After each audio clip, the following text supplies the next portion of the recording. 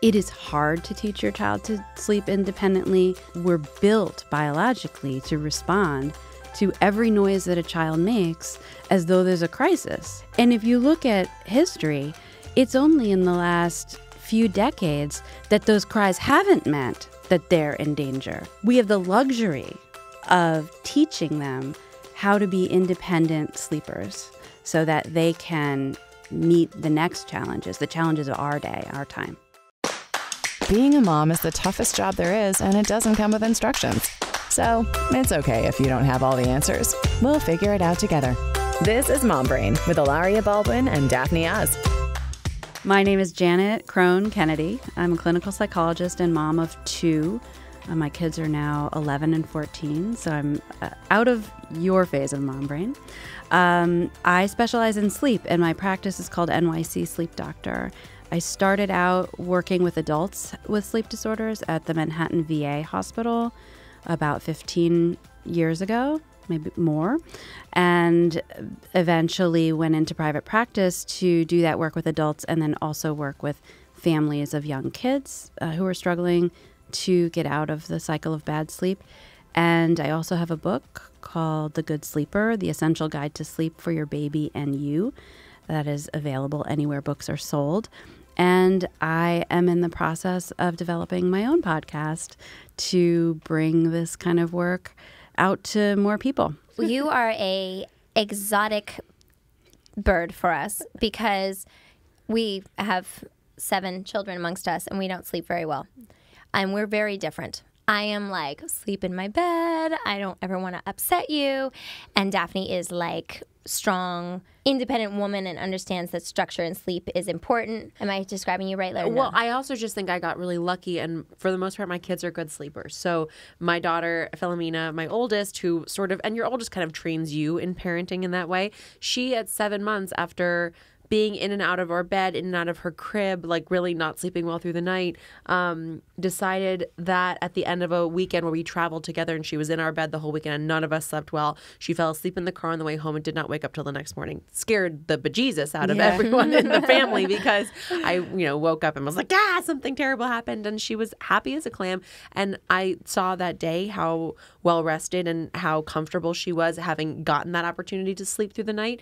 And, um, and that can, and that plus the rest of her life, she's now five, has convinced me uh, both on the positive and the negative. When she gets a good night's sleep, she's a different child than when she gets a, a bad night's sleep. My second, uh, John, um, it took him longer to sleep through the night but uh, and he's also now one of those people who falls asleep really quickly. But when he's up he's up. And i think again i i my before i had kids i'd be a late sleeper i love to sleep in. And my daughter used to sleep in and and my son when he would get up early i would like try to convince him to go back to sleep. I would rock him and try to put him back to sleep. I would let him i would put toys in his crib and let him try to play and go back to sleep it, kids, kids are different. Some kids, once They they're up, they are up. And I think that's what's been. And my daughter Nika, our third, came out of the womb basically sleeping through the night. So I, I know, I knock wood for myself, and I know that that's a like a far stretch for lots of people who have kids who aren't great sleepers. Um, but I do think I got lucky in that way, and I also recognize that uh, something that uh, has has been proven to me is the value of good sleep for adults and for for children. Absolutely. And and I'm you know I think Hilaria you you don't need as much sleep as some people do also. But I think it's starting to catch up with me. Oh, really? Yeah. No, I'm tired. because I need Um, that. s- Like if I have, if I'm going for four hours a night for weeks on end, I just, I, I'm a shell. I'm a shell. I don't. It's so critical too because you know we're so we educate ourselves as parents. We're looking for all the best things to do. We want to do right by our kids, and we can't be those parents if we're not sleeping. And the, of course, the first step to doing that is to get your kids sleeping and teach them the value of good sleep. Teach them to listen to their bodies so that when they're tired, they're accepting sleep and not fighting it. yes. But I mean, it, it is that hard thing. Like, I would love to, and basically, okay. So, Carmen, my five year old, sleeps in her bed. And she is that when I go in there, I can put her to sleep. It was a lot getting there, but we figured it out. I can put her to sleep. And she's a very, very, very heavy sleeper. It's amazing. Like, anything can be going. You can turn the lights on, you can talk really loud. She will not wake up. Uh, Rafa is uh, my three year old, very, very, very light sleeper. Very difficult to go to bed. Leo and Rafa sleep together, really nice in some ways, really difficult for going to sleep, like really, really difficult. So when I put them to sleep, they're both fighting over, and I know you're not supposed to be in the bed with them, but it's just like they con- they they convince me to, and then like then they want me to be in their bed, both of them at the same time. And then they start fighting over it. Then they get out of bed and they start like beating each other, or they have like their beds like the heads facing each other, and there's this table in between. I'll sit on the table and put like stretch my arms and legs so they can each like touch me. But then it's like sometimes two hours of that before they'll finally fall asleep. It's it's torture. So it's here's what I'm wondering though, because I've listened to a few of your podcasts and you talk about your very structured bedtime routine, Mm-hmm. but it sounds like somewhere it falls off the rails and you're not in charge in that moment. It's that one, and it is the mommy factor. Like if Alec goes in there, so I'll disappear at one time. I know not good to do because then they don't trust you, but I'll disappear at some point. So I have like my structured routine. I'll disappear. Alec will read them stories, tell them to go to bed, and they just do that. Right. Whereas if I'm there, get like and and it's funny because I am the disciplinarian. Alec does not discipline them when they've done something bad, whenever anything. I'm the one that's a disciplinarian. But when it comes to comfort and sleep, I nursed all of them. I've been pregnant and or bre- breastfeeding for you know over six years now because I got pregnant breastfeeding each child. Um, and when they're breastfeeding, I have them in bed with me because I'm too tired to do that whole put them down, bring them up, go pump, do this. I can't. Once I am out of my bed, unless somebody's sick or something, it's just it's a horrible day for me the next day. And so I eventually started falling asleep, not planned, with holding my my first baby. Mm-hmm. And I'm a very stationary light sleeper, and Alec is a very stationary light sleeper. So we're it's like no, it's not dangerous. And then I did that with all of my children. But then they still have that comfort of mommy. When you're in the same room with me, I want you to be holding me. And then when it comes again with Carmen, it's fine. But with the boys, because there's two of them and one of me, and they don't. I, at some points, I thought of put, putting them in the same bed, but then they kill each other. It's a Right. bad idea. It did not work at all. Um, so yeah, So I think what's important in that in that scenario is that you are still the parent in that moment and that you can set up the routine on your terms. It's just about being clear and consistent about what the limits are, what you are going to do and what you're not going to do. So it's really, really important for kids to fall asleep alone, not with the parents in the room, because learning how to accept the comfort and the soothing from the parent and then finish off and do the self soothing and fall asleep by yourself is key to sleeping through the night because we all wake up during the night, whether you're aware of it or not. We wake up, we go into a lighter phase of sleep after deeper phases. And if kids don't know how to put themselves to sleep, then they can't put themselves back to sleep. And they're going to be wanting either the breast or the bottle or soothing or just attention. Um, and eh, so getting them to the point where they can be by themselves and fall asleep independently is really key. Um, so that means that whatever's happening in your routine, you're building up to your exit and you're communicating to them that this is the time we have together. I'm doing what what we agreed to. Um, this is what you need. This is what I need. And then the last thing you need is for me to go and for you to get the sleep that you need. Partly because they're anticipating your departure. And if you're waiting until they're asleep to leave, they have no motivation to go to sleep. It's it's almost like point. yeah, they'll delay it as long as they can. And so there's this push pull of like I want to sleep, I'm tired, but I don't really because I know I'll be alone then. Um, so it's almost, it's like separation anxiety in general. Like if you're spending a lot of time trying to get your child to be happy to say goodbye to you, you're really just prolonging that separation that's inevitable, and they have a lot of extra time to get anxious. So at bedtime in particular, because they're tired, it's dark, it's a long time to be alone, even though they're asleep, um, that anxiety can be heightened. And we as parents are more vulnerable to that as well because we feel like we should take it away, we can take it away, it's easier to take it away. It's hard to pull ourselves away because we also also have memories of what it's like to be scared at night or to you know to not be able to sleep and and how frustrating that can be or even just how boring it can be.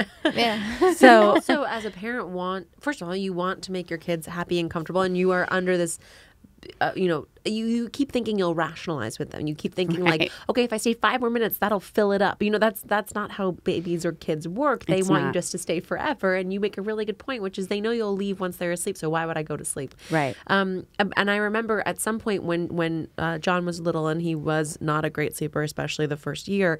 Um, I had spoken with another sleep specialist, and one thing that she'd mentioned to me that I thought was really interesting was she said two things. One is you have to be consistent, and you have to have a clear pattern of before you know babies have no concept of time. They don't know it's nighttime. They don't know it's 6 p.m or 7 p.m and it's bedtime. So what signals that to them is they eat their dinner they have their bath time you read the books you sing the songs you say the prayers you put them to bed. And she said even before they're verbal you say you know, mommy loves you. I'm coming back in the morning, but I'm not coming back until the morning.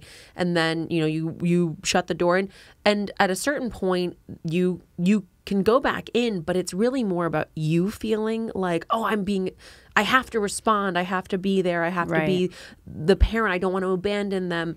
It actually just prolongs their suffering because every time you go in there, it resets the valve. Absolutely. And it makes them think that if they fight it, that you'll come back again. And then it's torturous for both of you. And I think that that was something that was a, a big, Eh, it just let me take a breath as a parent to feel like I'm making myself feel better in this moment, but it's actually very selfish and it Right. resets my child's suffering and doesn't actually make me feel any better because I'm still sitting out the door like weeping that this is a, a process that it's we're going teasing through. when you go in Yeah. because they're used to crying and calling and getting you to come and if you're trying to teach them a new response pattern which is you can when you are sleepy go to sleep that Yeah, that works and you'll like it. and you can do it better than I can do it for you. Because when they're tiny they need you to do that. But once they hit like 4 months 3 months 4 months you start to be stimulating to them. And all the things that you're doing in that period that we now call the fourth trimester Yes. that's like so stimulating the shushing and the bouncing and the driving and the rocking and all that stuff becomes overstimulating to them and they can't mm. get the good sleep they need when that in that scenario. So they have to learn how to do it themselves because your hands and eyes and breath on them in, is is not it's soothing but it's also stimulating and it, it does it does ignite this sort of conflict where they want more from you even though they know they want to mm-hmm. sleep. Okay, two questions. So the first one is like I would look at because I, again I'm a yoga teacher, so I'm like super namaste kumbaya, little hippy dippy. So I'll see you know pictures of gorillas holding their babies and they mm. sleep with them, or koalas, or otters, or any of these, and I'm like, well, we're animals too. My kid wants to be touching me while he or she is sleeping. And so there you go. And I have to deal with it. And our problem is that in society, we have gotten into a place where we need an alarm clock and we need to do this and we need to do that. And that's just something we've created. So, how are we supposed to reckon the natural and the fact that we're animals with the fact that we have created such foreign structure in our lives? And when our babies are born, they're little animals. They do It's not true. understand our structure at all. So, that's my first thing. And the next thing I'm going to ask you to do is bring me through if Rafa and Leo two and three were your children, what would you do? Okay, Okay. but first, first the So the first, the answer to the first question is tricky because you're right. The, we are mammals, and you know, if we all, if we lived somewhere else in some different kind of society, some different kind of culture, the answer would be different. But you're choosing to be here. You're choosing to raise your kids here in this way. You're choosing to pursue the things you pursue in your life: fulfillment, success making the world a better place, all of these things that are important. And you're also providing an example to your children of a strong woman who takes care of her family and herself and the world, essentially, and, and doing the things that you do. Um, and so you can't have it both ways in some like you you are raising your children to live in this world and that uh, you know that sounds harsh coming out of my mouth but i do this all the time. I teach people how to teach their children to sleep. What becomes of that is a family that works. Right. a couple that stays together I mean, certainly more likely than if everyone's exhausted and hating each other. Um, kids who are better behaved and easier to parent, they do better in school, they separate more easily, they're nicer to their siblings, they're nicer to the dog. Like they, they, they're more flexible, they're healthier, they aren't getting sick as much. All of these things that, you know, we don't live in the culture of it taking a village and having a village to rely upon where if you don't sleep tonight someone else is going to be able to help you tomorrow so you don't break down. Right. um, and so the fact is that we can do it. It works. It makes for healthy happy well secure securely attached children. There's a lot of discussion about how this ruins attachment. None of that is based in science. And if you want to read the appendix in my book i've gone through all of the claims that it's going to destroy everything and looked at the actual science for that. It is hard to teach your child to sleep independently um, because it is emotional for for you and for me. Um, because we're built biologically to respond to every noise that a child makes as though there's a crisis. Right. And if you look at the at history, it's only in the last few decades that those cries haven't meant that they're in danger. Right. We have prenatal care, we have vaccines, we know not to put our kids to sleep on their bellies with lots of s- soft bedding, we know not to smoke and you know, we know not to put them in the bed when we're drinking, like all these kinds of things that we know how to keep them safe. Um, they're not in danger. And so because those challenges have all been resolved to a large extent, we have the luxury of teaching them how to be independent sleepers so that they can meet the next challenges, the challenges of our day, our time.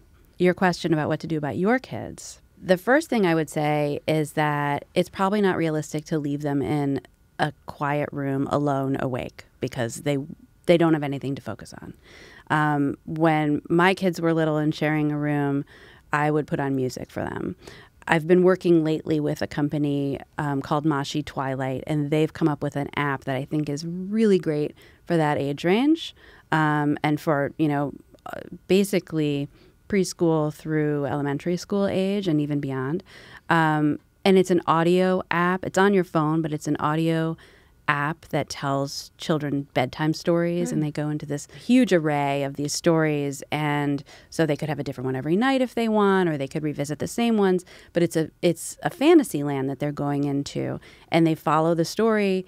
It gives them something to focus on to take their thoughts away from where's my mom? Is there anything I can do to bring my mom back in the room? Why does it feel weird to be alone? What if I just went over and bopped my brother on the head? Would that be fun? You know.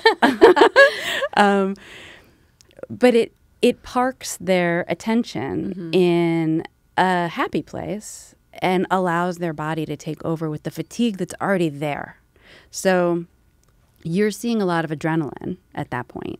Um, and that means that they're sleepy, but their their body is telling them to fight sleep, and it may mean that they're they're going to bed a little too late, um, or the wind down isn't you know somehow doing the trick, or it's the that feeling of like wait a second, I don't want to go to bed, I don't want you to leave, whatever's causing that, it's riling them up, and if you can give them something to do instead of just being like you're on your own kid leave and, and shut the door you give them something to do so that they're occupied in a in a productive pleasant happy way.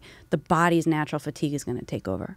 So, but getting there, going from two kids that, you know, they have this certain structure, they get excited to read with their dad, and then either he has to be in there until they fall asleep, or a babysitter has to be there until they fall asleep. Because if mommy goes in there, it's two hours of like Right. really, really, and I they it, it's so funny because they're like, mommy, you don't love me.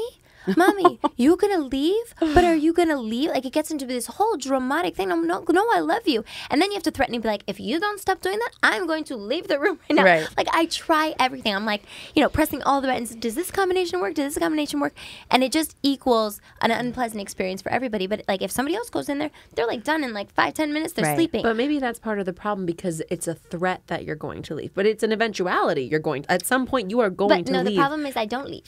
but, I, but, I think, but I think that's I don't follow I through. think that's I mean that's really that's actually exactly right too. And I I wonder like at a certain point obviously it makes you feel good as a as a parent as a mother that your kids want you to stay and and you do want to stay like it's your you know bedtime can be a really magical Mm-hmm. perfect time to be with your kids because they're they're so sweet and like I I personally feel like it's when I thrive. Like I'm really good at bedtime stories and like all of that, and I love it. Um, but at, but I feel like you. I wonder what would happen if, they, like, they know Alec is going to walk out. He's going to do his bit and he's going to walk out. And, like, the babysitter's going to do her bit and then walk out. And I wonder what would happen if you tried a week of, like, mommy's here, mommy loves you so much, we do our thing, and now I'm going to walk out too. No, but they follow me. They don't, but also follow. they're not. Alec and the babysitter are not leaving while they're awake. It's just taking them not as long to fall asleep because they're there. They stay in the room till they fall asleep. So, step I one, if you were my client, this is That's what I would tell you. Step one is getting them to fall asleep for Alec and the babysitter without them being in the room. Oh, okay. It's also not a terrible thing to put a gate up on their door. They will climb it. They will take it They make tall ones. No, no, no. You don't understand. These are my these are my monkey Zoo children. There's a there. I've seen people put one on top of the other, like basically making a screen door. There's you have to stay a step ahead of them because you're the parent, right? And and your job first and foremost is to keep them safe. Um, then it's to keep them healthy, and then it's to keep them happy. So they have to. They've gone from being in a crib to being in a bed and having the run of the house mm-hmm. because there's no boundary there. That's a huge change. And they don't have the frontal lobe capacity to inhibit their impulse to run around and try to make it into a game. They can do it when they have a different figure in the room, but they can't do it with you. And so there has to be a way to keep them in the room without having to throw them in the room and slam the door and you know throw away the key. A general way to just say this is a reminder for you to stay in your room because at nighttime you need to stay in your room. That's what we do. I stay in my room at nighttime, you stay in your room at nighttime. And with repetition, that is not punitive. It's limit setting. And it's so important for kids to have those limits, not in a authoritarian way. We're talking we're not talking about random nonsensical rules the way that, you know, our parents were raised. This is like these are the rules that I make as a parent to keep you safe. And sometimes you don't like them, but it's okay. It's okay for you to be upset about that.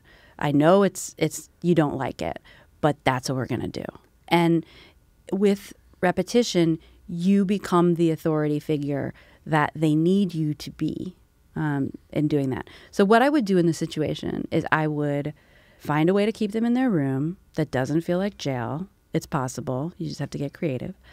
Um, I would start with everyone but you putting them to bed and the final step and leaving the room while they're awake. And I would use this app, the Okay, Moshi I'll Twilight, because the other thing is you start gradually where Alec or your sitter would sit with them while they listen to the stories. So first, the, first the association is the only thing that's changing is we're adding something. I'm not just throwing a bone and leaving the room.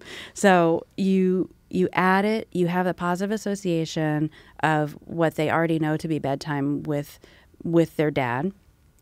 And then after a few days or maybe a week, he starts to leave before it's over. And he can explain tonight when we start the story, um, I'm going to leave and I'll come back and check on you in 10 minutes. Or, you know, and you work out a schedule that makes sense with that.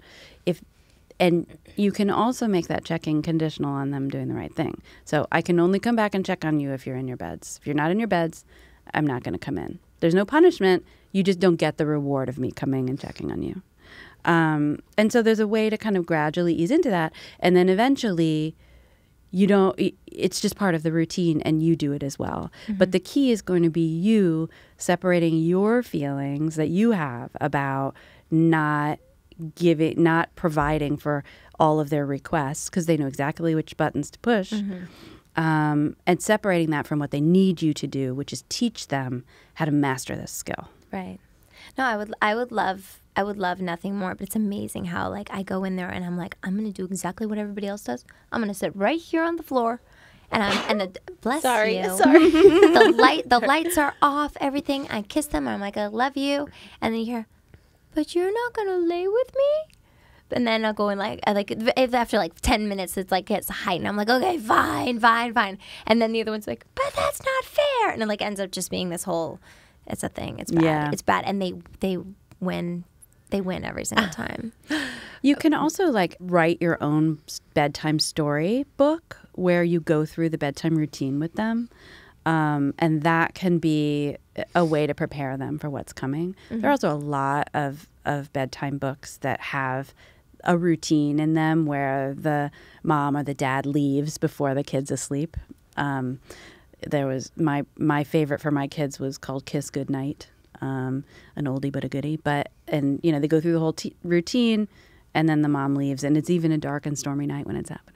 Oh wow! I'll have to, I'll have to look at it. Heightened you, response. You Yeah. were talking before about sleep regression, and I, I want, Daphne had like a really interesting point. Yeah. Oh, um, I do, and I thank you for reminding me of that because it had totally slipped my brain. Um, and I wanted to say to you though, I think you can both win. I think that you can win and get some real sleep, and I think your children can win and still feel like mommy loves them and would love I to stay with so. I don't want them to be Um, traumatized. they will not be traumatized. um, something I did because I remembered that I like I, I bought my kids old boom boxes that they because I wanted them to be able to figure out uh, how to you know how to put a CD in and press play and then Right. because just, just because I grew up falling asleep to books on tape sometimes. And I always loved and even to this day if I can't fall asleep if my, brain is racing I will listen to a story I've heard before or I will listen to a podcast I've heard before or something just be- for 10 minutes because the lulling noise of that talking will put me to sleep. And I've noticed that for my um, five-year-old that sometimes really helps her too. This Moshi app's interesting and, and guys listening at home Dr. Kennedy is able to offer all of us a code. It's mom brain sleep. If you put that into the app you'll actually get six months free of the service So if you want to try it out with your kids. That'll be awesome. But it really is just like uh, you know i'll let her listen to a stories podcast or whatever and it, it um it helps her fall asleep when she cannot fall asleep. But something that i started doing once i got the boom boxes was i recorded myself as a voice note on my phone reading their favorite books. And then i burned it onto a cd so they all have their like mixtape cds of their favorite of me reading them their favorite so books cool. which they love. A because they can like press play on it whenever you know they can listen to the ones that they love and they have their own like music disc too that are their favorite songs and things. But anyway I've, i found that to be really effective Yeah. uh, uh, if because you reminded me when you said you know about the bedtime stories that involve a routine where the parent is saying goodnight in a very loving way and then leaving before the baby falls asleep um, question about sleep regression. Okay so my my five year old philomena who was always my best sleeper has now in the last six months i would say decided that a i think she does have actual nightmares uh, periodically. Like she tells us that she has this dream where there are you know alligators or like crocodiles in the bed with her and she has to slap them there's this whole you know crocodile Look, theme Crocodile Dundee there. She slaps them. she slaps amazing. She gets out her like Indiana Jones whip and whatever. But she wants to get in bed with us. She wants to sleep with us. Uh, you know, she really it, it is it is happening more regularly and um, and unpredictably, I guess. Okay. And I'm curious where that comes from and how to deal with it and mediate it. The one thing that I have found is that um, we we've started. I tape a dollar to the wall of her bedroom, Yes. and I say, "This is your dollar if you stay in your room all night." and that is hugely motivating. Kids kids Yeah. love money. They're like, "Yes." Um, I don't, they don't know what she's going to use it for, but um, but that has actually made a big difference because she feels a level of pride in being able to snatch that off the wall in the morning. But but where does that come from, and, and how do we deal with it? There's two two main possibilities. One is that she's waking up for some other reason and she knows that if she says she's scared, she'll get the response she wants from you. Um, so because it's very hard to say to a child who's frightened that they've had a nightmare, like you're on your own, kid. Like see you in the morning, Right. Um, and it's really not appropriate. Um, you know, if they really are truly frightened and they need you, then you have to do something. But it can easily become a habit if they sort of learn that that's the ticket. Yeah. The other possibility is that something is triggering this nightmare, whether it's something she's watching or a transition that's happening where she's just feeling more agitated and anxious. I would, you know, do a little, I'm sure you have, exploration of what might be triggering this. Um, but typically, my first approach is to figure out if a child is overtired because most sleep regressions come at times of sleep transitions. So they come around eight months when they're going from three naps to two. They come around a year and a half when they're dropping to um, one nap, or they come when they're dropping uh, their nap altogether. Um, and that, because the reason that happens is because they're suddenly going um, for a much longer time between the nap and bedtime, and they're getting overtired. So when I was talking before about adrenaline, this is really, really key. Um, what happens when the body is overtired is that it releases adrenaline. We are very, very primitive beings. Um, we have one response to a threat that is fight or flight, and it's designed to keep us awake. So it works in the exact opposite way that would be helpful when we're when the problem is that we're exhausted. Um, but if you think about yourself, you're tired and you need to get up and go to work, you get a little adrenaline to get you through and and that's really helpful. So but for kids it's really disruptive. So anytime there's um, a lot of frustration, protests, um, or delays at bedtime, night waking or early waking, the first thing I look at is the bedtime to see if it has crept too late. And now that the days are getting longer, that happens. That tends to happen. What is the ideal bedtime? Well, it depends on your kid's age. For babies and toddlers, it's typically around seven. Sometimes it's, you know, I usually say plus or minus 30 minutes. For a five year old, you said? Yes. So for a five year old, probably 7, 7.30 because she's not napping, right? No. So the thing you can do is track it, right? If you try putting her to bed even 15 minutes earlier than mm-hmm. usual, often that's enough because it's just that moment when you cross over into wired from tired that causes all the disruption. Right. It's a matter of hitting it before that adrenaline Before the adrenaline. releases. Yeah. That's interesting because her bedtime, as she will tell you emphatically, is seven thirty. Okay. um, but I think you know sometimes that means getting in bed at seven twenty to start the whole you know negotiation over how many books we're going to read Yeah. and then the reading and then Lights the out questions should be 7 You know, there's like fifty questions. The more tired she gets, the more questions there are about every single nuance and wording Right. and whatever of the book. And I think that's right. I think if it's asleep by seven thirty, that might be a better Mm-hmm. Or strategy. for lights us. out. Lights out. So the other thing I wanted to say about your um, your technique Yes. um, the dollar bill. the bill. dollar bill. So you can also do that with play money Mm-hmm. and have them earn rewards. It's not just that the reward is the money, which some people might not love. You can do it, and I, this I'm stealing from my um, daughter's second grade teacher, who used to give behavior bucks and citizenship bucks. I know, I bucks love and that. whatever. And so the kids would start to accumulate these bucks, and then there was a menu of things that they could buy with them.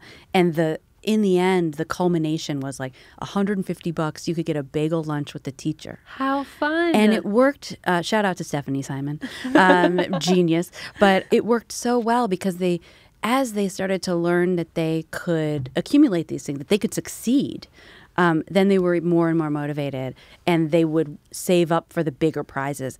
And the idea of having the prize being an experience, uh, extra time with you, Yeah. something that you share together, as opposed to like, you know, A toy. I a love toy. that. I'm totally going to lift that. love that That's so much behavior box. fun. And you can also really personalize it for your family because Right. there are very few times when any of my children get to do like big excursions with me alone. Usually we're all kind of traveling like pack animals. Um, you know, periodically Phil and I will go get our nails done together something like Right. that. But I think it's something really fun where it's where you can again you can say we're going to go to the beach just the two of us for half Or an to the hour or coffee to the coffee shop for half an hour or or take a walk in the park or Yeah. go, you know, look at puppies or like it's so rewarding for them, Yeah. so special. bagel and- lunch is rewarding I to anyone. right? Totally, It's amazing how big thing. of how big of a deal bagel is. We do that in my family. We do. Um, I give them patches throughout the day Right. for like things that they do good, and then I can also take them away. Okay. They can lose the patches, and then they they get very into that. Yeah. But the menu thing, I The think menu is cool thing because good. that's I've been trying to teach her about. We talked about this. We had Alexa Von Tobel um, on the podcast a couple months ago, and we were talking about money management and about how do you instill value at an early age because kids don't understand what dollars and cents mean. They don't understand. They're not. You know, it depends at what point in math they are, but they don't even understand how they tally up and to understand what value is appropriate for different things and and that interestingly on you know sort of a subconscious level that experience is always more valuable than material. Mm-hmm. Is a- I really love that lesson. Can you talk to us a little bit you know more generically for people listening at home what are some of the most common sleep disorders or the signs of them? And uh, uh, we're talking mostly children under the age of 10 i would say. And um, and and how do you address them? The primary distinction between a medical sleep disorder and a behavioral sleep disorder. I deal primarily with behavioral sleep disorders, although some of my clients have both. Um, so, a medical sleep disorder would be something like snoring, sleep apnea, um, any kind of obstruction that's interfering with breathing at night. So, typically, the treatment for that involves an ENT, and you would look at adenoids and um, maybe using nasal sprays or see if, if adenoids or tonsils need to come out or if other things can be done. There are also um, parasomnias, which are night terrors and sleepwalking. Those are sort of a combination. I mean, they're they're definitely medical in that they there's something neurological going on and um, causing this disorder. And you you know, if someone's sleepwalking, there's not a lot you can do in the moment to to prevent that. However, those uh, symptoms of those disorders are dramatically increased when kids are overtired or when they're going to bed in a stressful way. Um, so, in those situations, I would work with people on the schedule and consistency and smoothing out any battles that are happening at bedtime. So, what I see in the, um, I would say, zero to four set is um, an inability to self soothe and a need to develop independent sleep skills. So, typically, that is happening because they're overtired. Either they're overtired because they can't sleep independently and they're just stuck in a rut, or they're overtired because they're on a schedule that's not appropriate for them. Also, they haven't learned how to self soothe and get into sleep on their own. Um, because when, as I said before, what ends up happening is they start to need a lot of help, but the help stops being helpful. Mm-hmm. Um, where the parents are intervening a lot, it's just overstimulating the kid. They might go to sleep for 20 minutes and then they're up again, like, and you've got a big old problem there. So, in those cases, I work with parents to. Um, first of all, understand the basic science of sleep and, and how to work with the child's body instead of against it. Um, I also work with them to help them understand how limit setting is good for healthy attachment and not and not terrible for attachment as some people would have you believe then set up a plan with routines and a plan for how they're how they're going to respond or not respond when their child is doing the thing they don't want to. So if it's a, a younger baby and we're talking about, you know, frequent night waking, we would probably do cry it out without a lot of bells and whistles because it's better to just stay out and you know i mean there's all kinds of different contingencies in terms of does a, does a child really need to eat at night most of them don't by the time they're ready for cry it out but you know I'd certainly develop an individualized plan. Then, as kids get older, you start to have um, more. Uh, their their sleep changes as they get older, and they stop being able to sleep on command. So when they're young, you're doing this kind of um, sensory deprivation sort of thing, where you're like, "Here you are. This is your crib. It's dark in here. Go to sleep now." And you giving them those commands actually helps them to be like, "Okay, this is what I have to do," and they go to sleep as little tiny babies. um, but as they get older, they're more like us. And as you know, when you dive into bed and you're like, okay, I want to sleep right now, it doesn't work that way. Mm-hmm. Um, they need a wind down. They need to learn how to let sleep come to them instead of trying to force it. So oftentimes there's a miss there's a mismatch between where the kid is and where the parents are. The parents want their kids to be in bed, done for the night. They want to be done parenting. Rightly so. It's been a long day. Um, the kid needs to be getting good sleep, but the pressure to sleep on that schedule can start to be a problem. And so that's when I work with parents on okay, what can your kid do by themselves to be alone and be calm and keep the mind from racing, keep the fears from taking over. Um, but and and then allow the fatigue to come when it's when it's going to. I often tell people um, when I'm working with adults, don't try to sleep. Let sleep come to you. And that was a big lesson for me when my son hit this phase, my oldest child, um, because he was he just kept coming downstairs and being like, I can't do this. I don't know what the problem is. And we're like, just go try, just go try.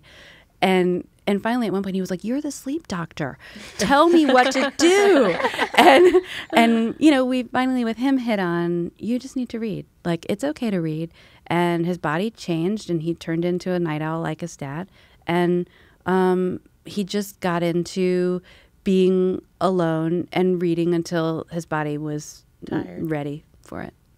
What do you What do you do to go to bed? What's your What is your routine? I read. I do read, and I, I so I do like a basic sort of, you know, my very basic beauty routine. Um, just washing my face and doing whatever topicals I'm doing.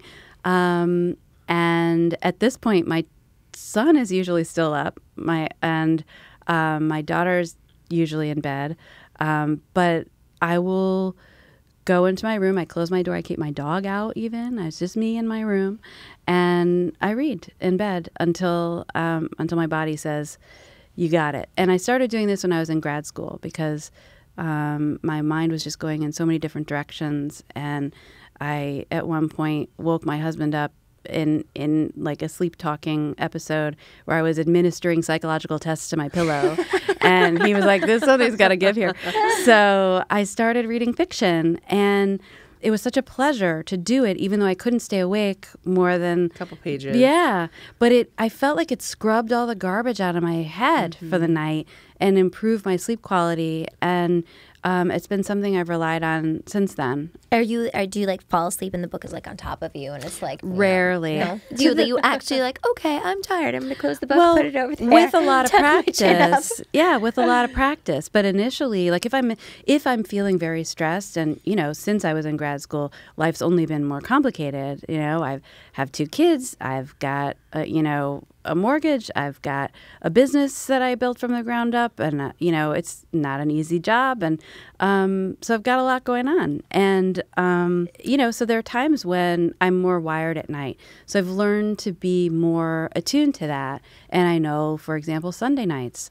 I'm going to be up later and I'm going to be reading longer because it takes longer to wind down and you're out of your rhythm, and that's just okay. And if you're not stressed out about that by Monday night, you're back on track. Um, so yeah, you you build that association. It's it becomes a sleep association itself, and um, you know it drove my kids crazy because when I would read to them, I'd be yawning the whole time. It's a very strong sleep association, but at the same time, it's so helpful, and and it it is really a peaceful time, and and as a you know busy working mom, it's like that moment of just like this is me. Me time. Yeah. Me time. Remember that that brings back the Alexa von Tobel as well. Yes. Do you read like really like re- relaxing, like lovely books, or you're are you reading like horror books? I I read gotta fiction. get to the right I place. read good fiction. I read, um, you know, sometimes I'll read lighter stuff, um, but I don't read nonfiction at night. Um, I think fiction is important because you have to create the images, and you're you're going into a fantasy land. Just like you know, I was talking before about the app. I, it's something that requires your brain to do something Dissociate from reality. Yeah, Stop in a feeling like you're happy living in place. the real world. Yeah. yeah, and it's it's a dis- enough of a distraction that you you almost trick your body into it every single night. What do you make of the sleep supplements like the melatonins of the world for kids and for adults, and particularly for travel? I've had more than one parent be like, "Oh, just dose your kids with melatonin before you get on the plane if you're, you know, heading on overseas or Yeah. on a long plane ride." What's your thought Um, on that? So my thought on melatonin is that it is best for jet lag um, because melatonin is a hormone that your body produces naturally. You do not have a deficit of it, and re- that requires supplementation. Um, as a sleep aid, um, if you need, a if you're a person who's suffering from insomnia on a regular basis and you find yourself needing sleep aids, a lot of the time, I would recommend therapy instead. Uh, there, you know, the treatment I give is cognitive behavioral therapy for insomnia, CBTI, short term. You don't have to get down and dirty with your entire past. You're fixing the problem and getting back on track. what does that normally look like? Is that like one trigger anxiety point for people, or is if it's a short term sort of corrective the treatment? process? Yeah. The treatment is it starts. We track your sleep with a sleep diary, um, and figure out what's happening day to day. Is it really a problem every day? Is it only when you drink? Is it only when on Sunday nights? These things, you know, figuring out what's really happening is important.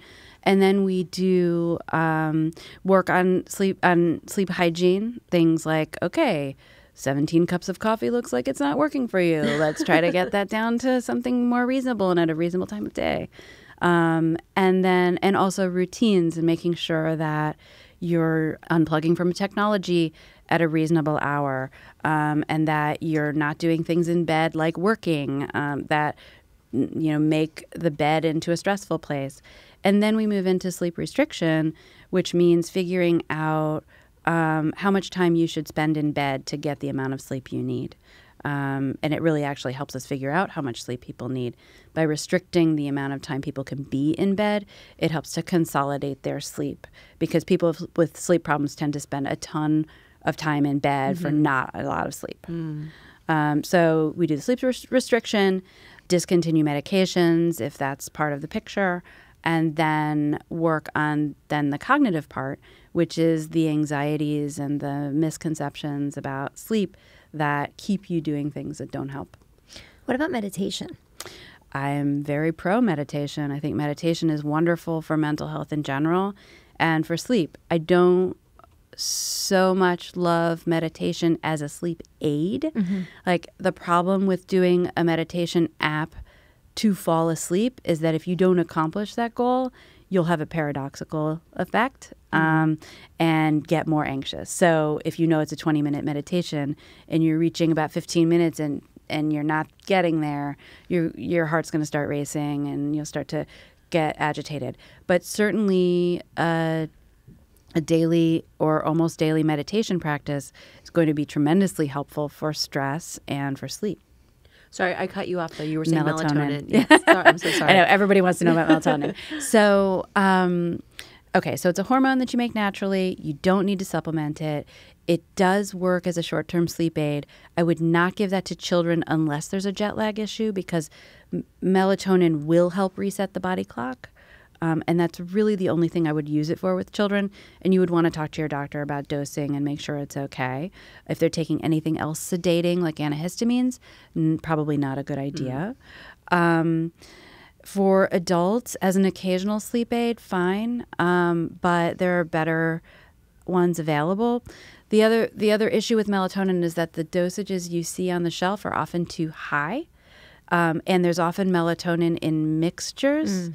Um, so there's, you know, if you're taking like this thing for calming and that thing for, you know, whatever, there's probably melatonin sprinkled all through that. And you want to be, you want to really read the labels um, because the, the therapeutic dose for melatonin is something like 0.3 to 1 milligram. And most of these things have three to five or 10 milligrams in them. So that's going to give you too much. You're going to be hungover. Um, and it's, it's not, those doses aren't actually found to be particularly helpful for insomnia. Hmm. I want to uh, give you a chance to talk about anything that you think the average parent is struggling with unnecessarily mm-hmm. when it comes to sleep at this critical juncture in ch- early childhood.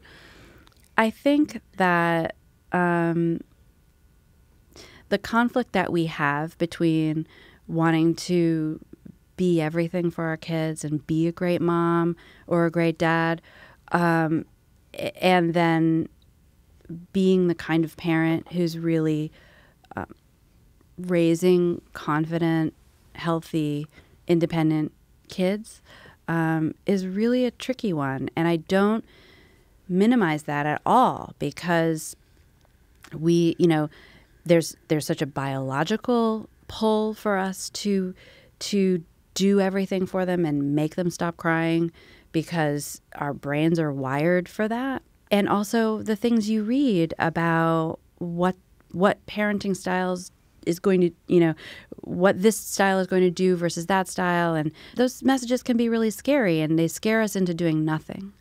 Um, so I think it's really important to value yourself as a parent and think about what you need to be able to be the parent you're supposed to be, um, that you want to be.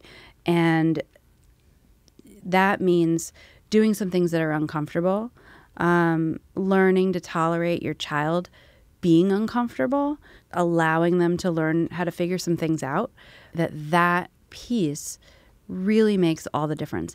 I find that the people I work with whose kids naturally start to sleep through the night are people who are more tolerant of noise from their child early on and they don't run in and try to fix it um, right away. And that gives a child more time to go back to sleep on their own. Um, you know, I certainly found that with my second child, I would have to put her down because my older child was doing something and needed attention. And by the time I would get back to her, she'd be asleep. You know, it's like, so she, you know, and that wasn't harmful. That was just like, she's saying to me, I don't want to be here. I don't like it. Um, I, you know, please, do you really mean this? All in just by crying. And I'm saying, yes, I do mean it. This is what we're doing now. It's really time to sleep. And she got the picture. Yeah. So. What about these monitors? I never, I never had one, but the monitors where you can talk to your child through the monitor. Have you seen that? I I don't see the reason to do that. Um, partly because you want to remove yourself from the equation. You being present at all is going to lead them to want more, um, especially if they're upset. And so, you know, if they're trying to say, I can't sleep, I don't want to sleep, and you're saying, go to sleep, you know, it's really okay, that reads as you needing them to be okay, like you needing them to be happy and not distressed. And that also communicates that there's something wrong with being uncomfortable and that they can't do it by themselves. Because I've seen, I've been on like play dates, and if they have an, a younger child, so sort of, you know, they, they hear the baby and they can turn on the monitor and they can see and they go, shh, it's okay, I'm here, shh. And the baby's kind of looking around. And the, Yeah. baby, and the baby's Voice of like, yeah, it doesn't work. it doesn't Yeah. work. Where are you? The, the other thing I'd, I'm curious about is, um, you know, without naming name brands, there's all these gimmicky beds that Yes. will like rock Yes, you I know what you're talking forth. about. Yes, you know, yeah. Um, and um, what are your thoughts on that? So I'm mixed on. I think. I mean, in general, I find technology, um, over technologizing sleep is a slippery slope, and I think that ultimately, most kids don't need it. Um, that said, I had a colicky baby who would not be put down between the hours of like 1 a.m. and 4 a.m. for six weeks, and it beat me down. I mean, it was really, really hard. And, you know, I found some solution of putting her in the vibrating rocker and having my foot on it and like whatever. And it was crazy. and so, you know, yes, uh, if I maybe something more elaborate would have been helpful. But um, the problem with those things is that you start to rely on them a little too much. And it's hard to then get your child out of it and into something more natural. Um, you know, I also, I'm a huge believer in white noise, but I do not think white noise should be right in the child's ear. So there are some devices that do that. And, um, you know, to me, white noise is better placed to create a sound screen in the room and not the effect of like a hairdryer on the child's head. Right. Um, so, and I also think that children need to learn how to sleep stationary. They're not necessarily ready to do that when they come out of the womb, but they do need to learn how to do that. And so, constant jiggling and swinging, you know, past certainly past like the 10 week mark, I think is going to prevent independent sleep more than it's going to necessarily promote it. Now, there are always going to be exceptions to that and and as I said, maybe something like that would have changed my whole postpartum experience and um, you know, it's very possible. So I don't want to say a blanket no. Um, but I do think, you know, the first few months are hard. Babies are, you know, they need a lot of, you know, a lot of hands-on stuff, and um, there's not an easy solution to that. Um, nor should there be, because a lot of what they need is our hands on them. Um, so I'm, uh, you know, it's not that you should be holding them all night, but you also get more attuned to them when you're paying attention. Right. No, we definitely made that mistake with the with my second one. So with Rafa, um, he was in. I I'm a big fan of the Fisher. Maybe I shouldn't be, but I am of the the Fisher Price um, rockers that you actually rock, you bounce with your feet. And then they can see you. They're looking at you. They're holding their loveys on either side. And they're like, I'm watching you. And you're rocking them. And then they go to sleep. And then he stayed in that until he was solid on the floor. Like he would go and climb into it and would be like would like bend the whole thing because he was so heavy and be like on the floor in it. And then it was hard because the next one, they're only 14 and a half months apart. Right. So then he would see, he's like, why does he get to have Right. one? He's and a I car." don't get to have one. It was like major issues. So I I like that low tech approach to it. I just think you you have to be mindful of where they are developmentally. So at 8 weeks, that's a godsend. At 12 weeks, he doesn't need it. And so And two years old, yeah. so like but if you if you transition out of those things earlier, it's easier, Right. right? And so you would say, okay, look, he's always he's always getting a really good stretch at the first part of the night in that thing. So why don't we try to do that for a stretch in the crib and Right. see if he can do that? Or in the the first nap of the day is you, the first one that's usually easier to come by, and so you would do that one in the crib and see what you can get. Right. And you can also do the thing where you ease out of rocking before you ease out of the th- the device. it. So That's what we always do. Yeah, instead of rocking the whole time he's asleep, you're just rocking until he's asleep, and then you're just rocking to get him settled, and then you're not rocking at all, and then you're doing the crib. So you can sort of step back. And I go through a lot of these sort of um, easing into independent sleep strategies in my book, The Good Sleeper, um, and you know they they often work, but if they don't, it's okay to then move on, and you should move on and teach them to fall asleep in the crib by letting them get upset about it. I'm working currently with the Moshi Twilight app, um, which is a sleep story app for children. It gives them bedtime stories to help them go off to sleep peacefully in the night without their parents in the room. And listeners of Mom Brain can try that for six months for free using the code MomBrainSleep.